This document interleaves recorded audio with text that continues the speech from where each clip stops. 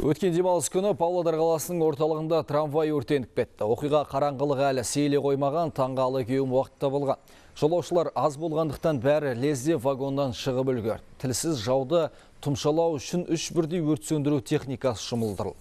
Соған қарамастан небәрі 30 минут ішінде трамвай тамтығы қалмай тұтас өртеніп кетті. Қазір қозғалыс қайта қалпына келтіріліп, жолаушылар тасымалы кестеге сай жүріп жатыр. Дерекке қарағанда жанып кеткен трамвай өте ескі.